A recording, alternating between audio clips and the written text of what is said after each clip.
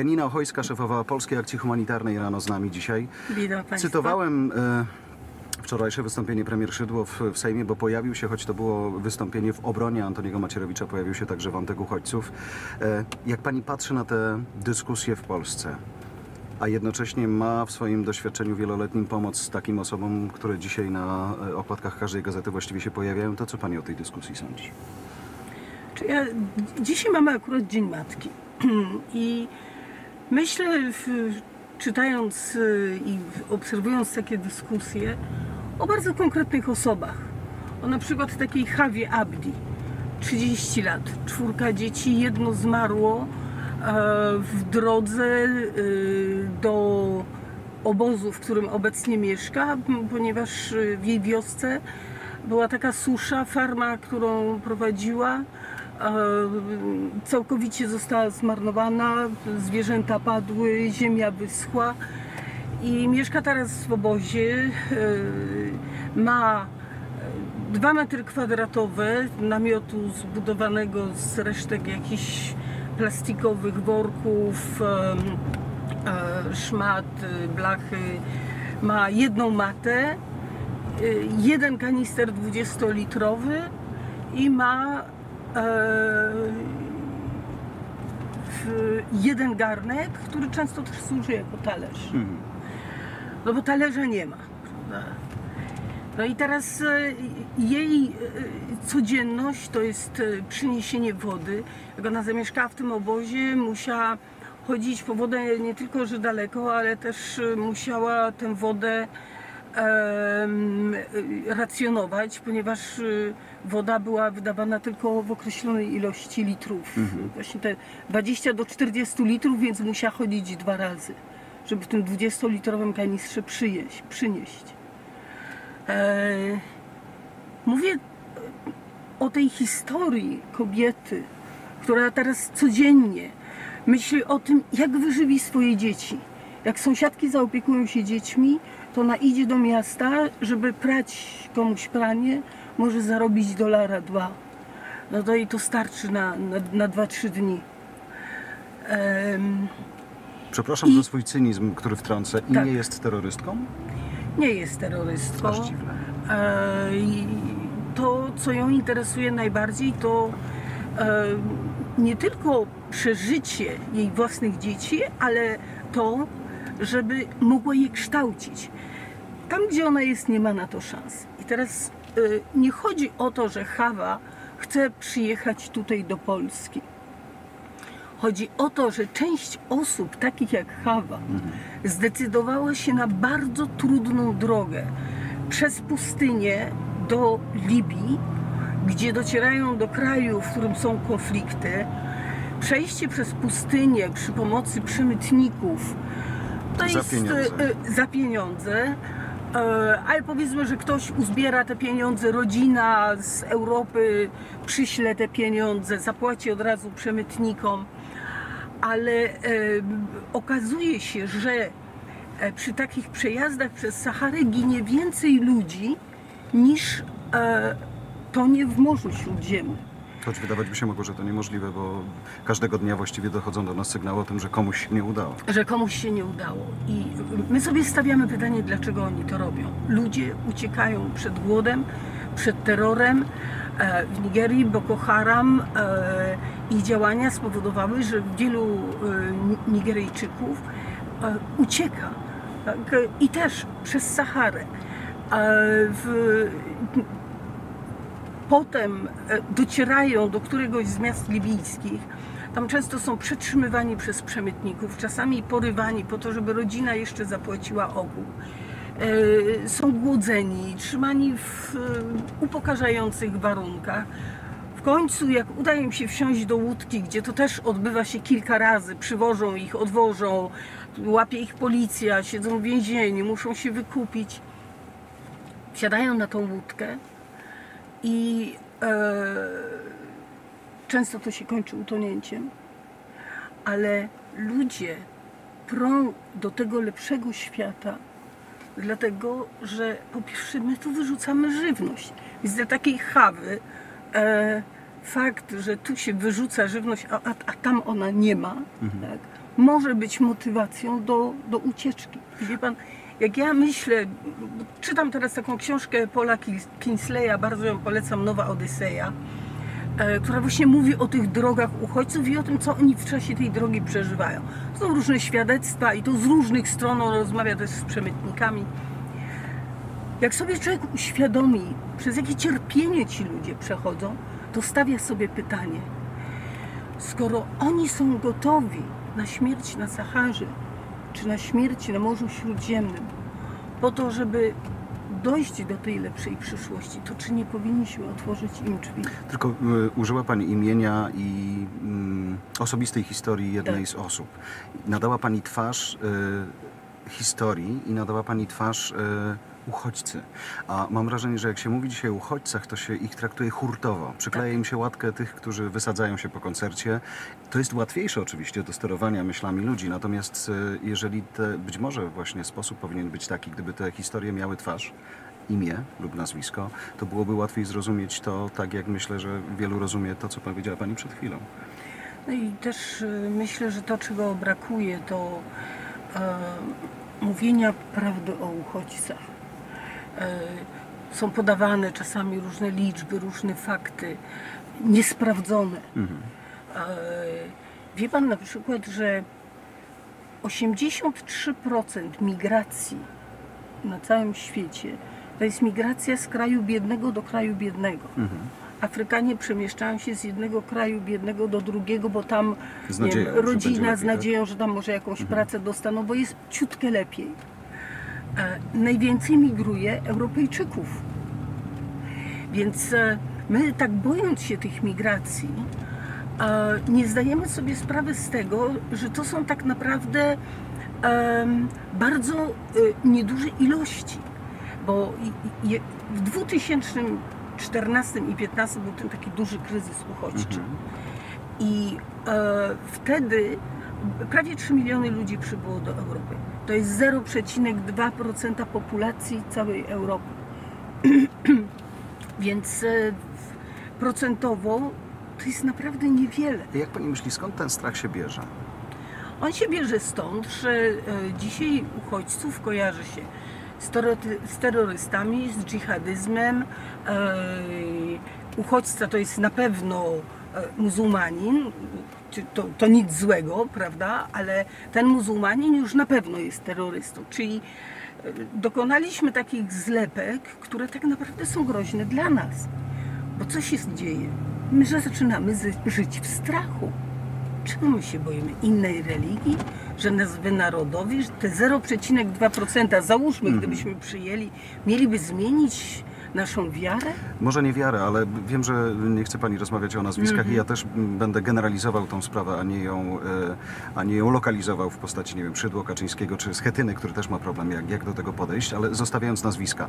To prezes Prawa i Sprawiedliwości o, odpowiedział trochę na to pytanie. Strach jest taki, że e, uchodźcy globalnie w Europie czy w Polsce mogliby wpłynąć na, on to tak rozumie, trochę strukturę społeczną, że mogliby mm, być agresywni wobec polskich kobiet, że mogliby się, nie daj Boże, jeszcze ożenić z, z, pol, z, po- z polskimi kobietami, albo, y, albo w drugą stronę i to by gdzieś w jakiejś perspektywie czasu mogło zaburzyć tą polskość, jak rozumiem jego słowa.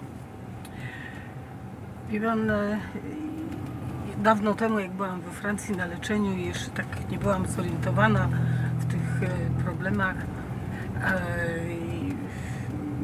miałam okazję też być w tak zwanych aszelemach, czyli tam, gdzie e, żyli uchodźcy z Algierii. I mówię do mojej koleżanki, ja mówię, słuchaj Mirej, e, przecież ich jest tak dużo, coraz więcej, nie mają tak dużo dzieci, to Francja, y, mówię, to, to oni, głównie oni tu będą mieszkali. A ona mówi, no jeżeli my nie będziemy mieli dzieci, to Francja stanie się muzułmańska. E, I ja wtedy zrozumiałam, że e, i też do, dowiadywałam się więcej, że tak naprawdę różne narody, różne kultury przemieszczały się przez najróżniejsze tereny i migracje, nawet zmiany, e, które, które się dokonują w kulturze, czy nawet w religii, bo jest taki duży napływ ludności, jest czymś normalnym, ale przecież nam to nie grozi. No nawet te 0,2%, to policzyłam sobie, to jest około 77 tysięcy osób.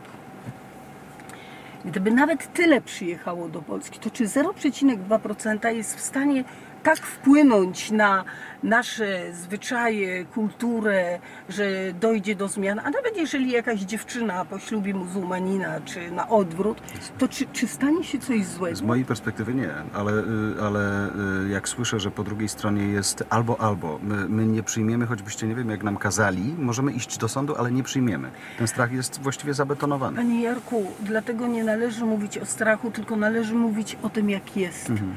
Należy o tym, y, należy mówić, kim są uchodźcy, skąd pochodzą, jakie tragedie przeżywają, dlaczego tak prą do Europy, jak rozwiązać ten problem, bo to, co zaproponowała Unia Europejska, bombardowanie e, łódek przemytników, to jest po prostu śmieszne.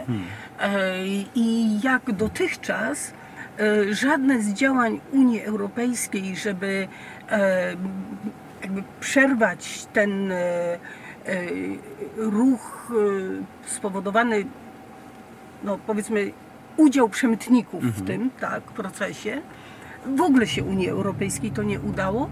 Wręcz przeciwnie, e, na przykład e, zakończenie akcji e, tej oficjalnej włoskiej akcji ratowania uchodźców na morzu spowodowało jeszcze większą e, zwiększenie ucieczek, e, dlatego że dla, e, ludzie chcą uciec przed czymś strasznym. To nie chodzi o to, żeby dotrzeć do Europy. Chodzi o to, żeby uciec przed, przed głodem, przed przemocą, przed terrorem, przed śmiercią, uratować swoje dzieci. I em, my za mało o tym wiemy. Ej, Wie pan, ja znam bardzo dużo środowisk w Polsce, które są gotowe do tego, żeby przyjąć uchodźców. I em, gdybyśmy... Ale mówi Pani o instytucjach, czy o, o, o O, na, o najróżniejszych. Mhm. Mówię o grupach różnych społecznych, o parafiach, ale również o całych gminach, no takich jak na przykład Gdańsk, Mhm. który jest wzorcowo przygotowany. Stworzył różne grupy specjalistów, które w razie, gdyby uchodźcy przyszli, prawda, byli, to e, od razu zajęłyby się nimi wyspecjalizowane jednostki do, e, w, w całym tym procesie integracyjnym. E, Uchodźca, jak przyjedzie tu do Polski, powinien być jak najkrócej w ośrodku dla uchodźcy i trafić jak najszybciej w środowisko. Integracja powoduje, że ludzie zaczynają uczyć się kultury, nawiązują się po prostu kontakty Tylko widzi Pani, ludźmi. powiedziała Pani, Gdańsk jest powiedzmy przygotowany, dlatego że przygotował też ludzi. Myślę, Tak. że ten strach w Polsce bierze się też z tego, że nie wiadomo jak z nimi rozmawiać, bo właśnie te schematy, te mity e, na zasadzie jak muzułmanin to zabije, e, Mhm. są tak duże, że po prostu już nawet nie chodzi o barierę językową, ale taką Tak. totalnie mentalną, prawda, że to jest już tak głęboko, że rzeczywiście potrzeba do tego trochę więcej wiedzy, trochę innego spojrzenia, żeby kimś takim się zaopiekować, żeby dać mu szansę, e, żeby się, nie wiem, spróbował nauczyć się polskiego, albo żeby spróbował zrozumieć to, co tu u nas się dzieje, żeby był gdzieś razem, a nie w kontrze. Ale Panie Jarku, proszę mi powiedzieć, co się stało, jeżeli z badań wynika, że w 2012 roku Mhm. Polacy byli bardziej otwarci na przyjęcie obcych do swojego kraju, nawet pochodzących z krajów afrykańskich czy innej Mhm. religii, a w 2015 to się zmieniło. Myślę, że narracja, to znaczy widzą zamachy terrorystyczne, które są w Nicei, na zwykłej, przepięknej plaży. Widzą zamachy terrorystyczne w Sztokholmie, które są na handlowej ulicy. Widzą y, Manchester y, zaraz po koncercie i y, nie widzą z kolei tego, co słychać choćby na ulicach Manchesteru, że ludzie odpowiadają, jedność nasza, pokazanie Tak. uśmiechu tak naprawdę, Tak. to jest nasza jedyna broń. Nie możemy się zamknąć i wyrzucić wszystkich stąd, bo nie, nie z tego jest znany Manchester na przykład. Właśnie na tym powinniśmy się skupiać. Zamachy terrorystyczne mają miejsce i bardzo nad tym boleję, ale jakbyśmy popatrzyli na naszą codzienność, Mhm. to one jednak wydarzają się czasami. prawda? Nie możemy żyć w stałym lęku przed nimi, no O bo co, przestaniemy no tak wychodzić, o to chodzi zamachowcom. Więc nie poddawajmy się temu i nie poddawajmy się też takiej retoryce, która łączy uchodźców i e, pomoc ludziom, którzy są w beznadziejnej sytuacji, e, nie łączmy tego z terroryzmem. Jest też y, w ramach tej narracji w sumie takie stawianie jakiegoś szalonego znaku równości między na przykład y, falą, a mm, oni nie lubią mówić o sobie uchodźcy, ale Ukraińców na przykład, którzy przyjechali tutaj, pracują i Tak. wielu nie ma z tym problemu, wręcz wielu wie, że jedyny pracownik czasem to jest Ukrainiec, on się inaczej trochę przekłada, ale jest też. A, ale pojawiają się na przykład brunatni chłopcy na ulicy, którzy nawet już nie mają pretensji o ewentualnych Syryjczyków w Polsce, ale o już pracujących tutaj Ukraińców. I też chcą za przeproszeniem, jak to oni mówią, posprzątać tutaj. To jest też ten problem, prawda, że oni mają dzisiaj tak, takie poczucie, że oni mogą to głośno powiedzieć, bo im włos z głowy nie spadnie, choć i tak mają ich mało. Pan, dlatego więcej, więcej trzeba po prostu, ja jakoś w to wierzę, tak, że mówienie o tym, co się teraz dzieje w Sudanie Południowym i w Somalii, gdzie ludziom naprawdę grozi głód, to nie oznacza, że my mamy ich wszystkich przyjąć, bo dla, dla takiego człowieka najlepiej jest, jeżeli może pozostać blisko miejsca swojego No, taka też jest pochodzenia. argumentacja. Ratujmy ich tam u siebie na miejscu, ale to nie jest też łatwe. Tak, Ale e, to nie jest łatwe, to jest możliwe, natomiast to nie jest argumentacja, która może być przeciwko przyjmowaniu uchodźców. Mhm. Dlatego, że część z tych ludzi nie ma wyjścia, tak? Część z tych ludzi jest w drodze. Są ludzie, którzy dotarli do obozów dla uchodźców we Włoszech i Grecji. Dlaczego tylko Włochy i Grecja mają ponosić ten ciężar? Poza tym, wie pan, wychowywanie dziecka w obozie dla uchodźców, nawet najlepszy, Jest. nie jest czymś, co chcielibyśmy zafundować swojemu dziecku. To nie jest dobre miejsce do rozwoju, a już na, a już y, na pewno nie jest dobre miejsce do, y, nauczania się, do nauczenia się życia w normalnym społeczeństwie. Tam człowiek dostanie wodę, dostanie jedzenie, ma naukę na podstawowym poziomie. I najlepiej, żeby już Y, niczego nie chciał. I najlepiej, żeby niczego nie chciał, tak? I czeka. Może dostanie, jak dostanie status, no to wtedy gdzieś pojedzie dalej albo, albo, albo zostanie w którymś z tych krajów. Dlaczego nie ma na świecie mądrego, który by, mm, nie wiem, miał jakieś e, pomysły, które byłyby skuteczne? Tak jak pani mówi, pomysł Unii Europejskiej nieskuteczny. E, I to przez, przez wiele lat. To nie jest tak, że ostatnio im się nie udaje, prawda? Są mądrzy, ale ich nikt nie słucha.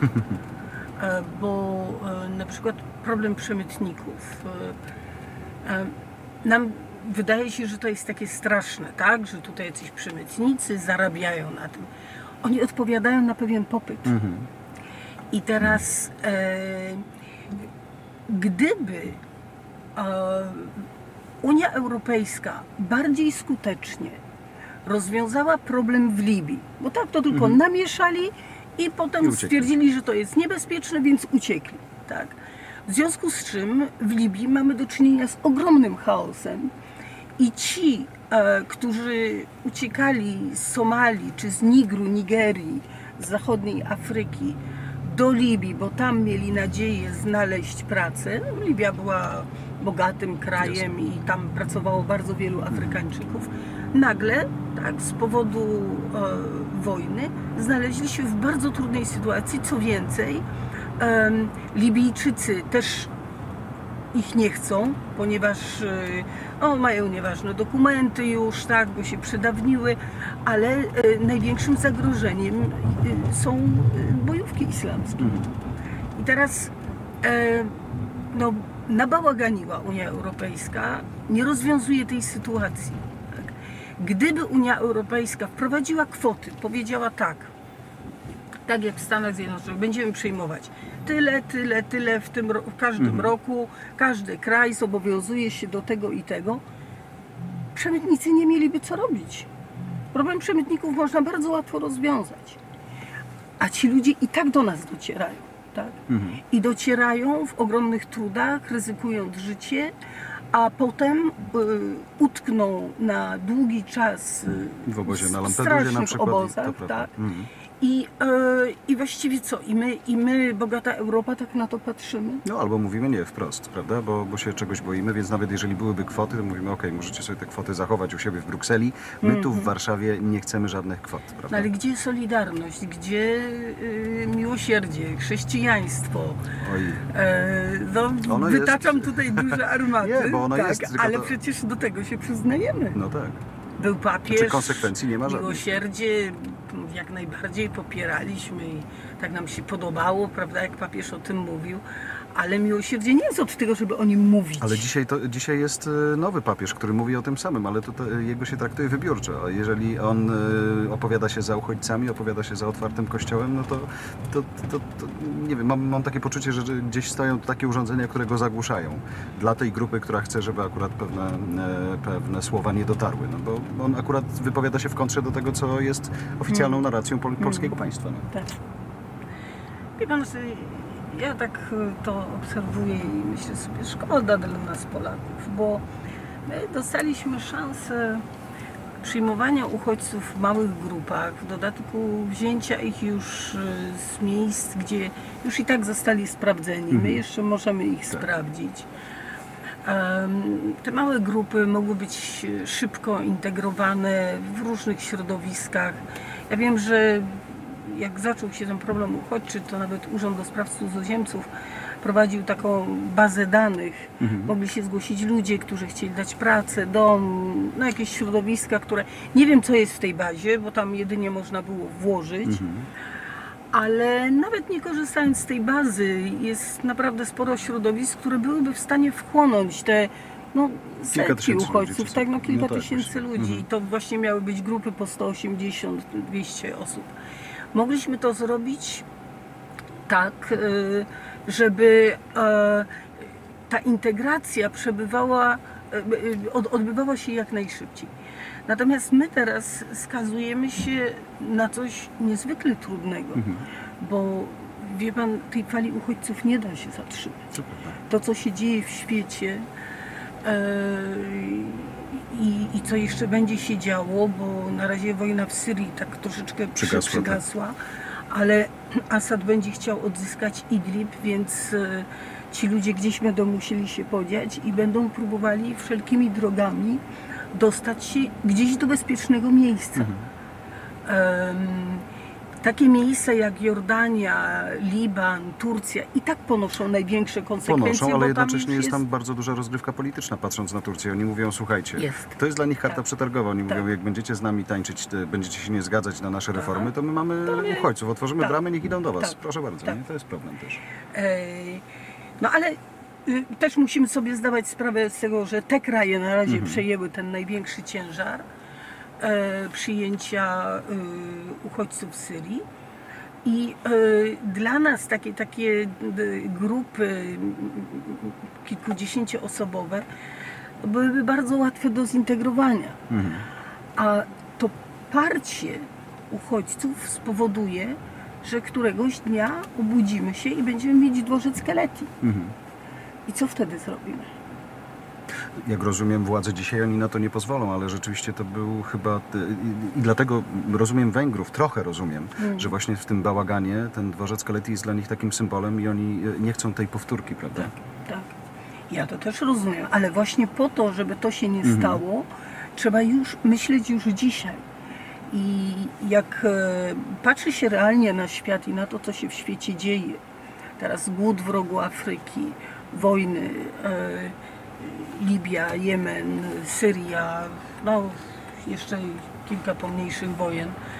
E, Irak cały czas jest niespokojny, tak, e, w ogóle Bliski Wschód. Więc i w, wojna w Sudanie Południowym. To wszystko powoduje ogromne e, ruchy ludności i nawet jeżeli e, te ruchy ludności głównie zatrzymują się właśnie na Bliskim Wschodzie i na samym kontynencie afrykańskim, to jednak część prze do, do, do Europy. I wie pan, ja im się nie dziwię.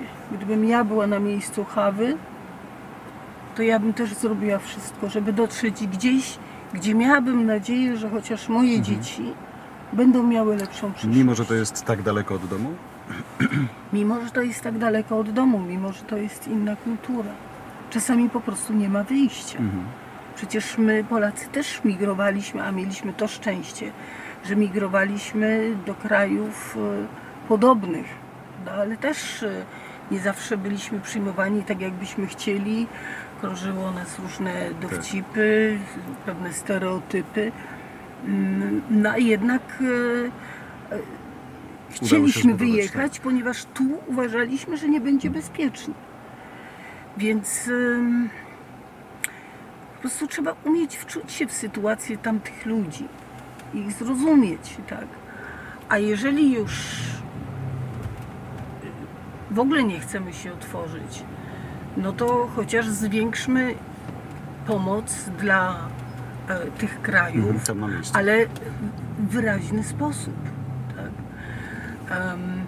Co, pięć, tak, że... co pięć dni powstaje nowa studnia w Sudanie Południowym, Mhm.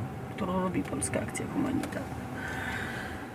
To wie pan, ten, ten potencjał jest naprawdę duży, a to są pieniądze z Unii Europejskiej albo od naszych darczyńców prywatnych. Mhm. Em, więc jesteśmy w stanie dużo zrobić. Na miejscu. na miejscu. Tylko, że mamy tutaj y, też oczywiście kraj, gdzie, gdzie nie, nie, nie jest łatwo, tylko e, jakoś ludzie, o ile pomoc dla Afryki wydaje mi się jest dla nich czymś takim powiedzmy oczywistym, oni są w stanie wyłożyć złotówkę czy tam więcej na, na to, to, to pomoc w kraju, który jest ogarnięty wojną jest już czymś takim, No bo to jest trudniejsze, tak, e, ale jednak e, organizacje, między innymi nasza, potrafi pracować w krajach konfliktowych. Jesteśmy zarówno w Iraku, na Ukrainie, jesteśmy w samej Syrii, gdzie pomagamy w ponad 50 obozach dla uchodźców. E, Głównie to są programy wodno-sanitarne, ale również i żywnościowe. E, Więc to jest możliwe. I wie pan, no, my między innymi naszą pracą e, utrzymujemy tych około 300 tysięcy osób w prowincji Idlib i oni mając e, wodę, schronienie, żywność, e, dostęp do warunków higienicznych, no jednak decydują się zostać. Tak. Em, czyli zdejmujecie rządowi problem z głowy trochę. No, Mogliby nie chcieć zostać. Trochę tak, mogliby nie chcieć, bo kto chce zostawać w miejscu, gdzie jest wojna. Mhm. Ale oni mówią, no to jest nasz kraj, ale nie wiemy co będzie. Tak? Jak Assad zaatakuje Idlib, to ci ludzie będą musieli uciekać, bo to są ludzie, którzy walczyli kiedyś przeciwko Assadowi. Mhm. I Assad będzie chciał tych Jasne. ludzi wyłapać. Tak. Więc y, oni nie są w bezpiecznej sytuacji. No, a takich miejsc jest bardzo wiele i teraz no możemy zamknąć oczy, udawać, że tego wszystkiego nie ma. No, ale wiemy, że to jest. Tak. I tak, tak jak mówię, no, co zrobimy, jak ci ludzie przyjdą tutaj do nas w dużej ilości? No tak może być. Janina Ochojska, Polska Akcja Humanitarna. Bardzo Pani Janino, dziękuję bardzo dziękuję. Mieliśmy czas na nią i bardzo za to dziękuję Dobrze pan prowadzi. bardzo dziękuję. Za chwilę pozwolimy, pomożemy też wysiąść. Natomiast Dobrze. nasz gość kolejny to jest osoba, która i w świecie amerykańskim, i tu w Polsce zajmuje się rzeczami, które są nam bliskie, nowymi mediami i tym, jaki oni mają wpływ na, na, nasze, na nasze zdrowie, także i na nasze postrzeganie świata. Trochę nawet w kontekście, o którym rozmawialiśmy przed chwilą. Nasza rozmowa już za moment.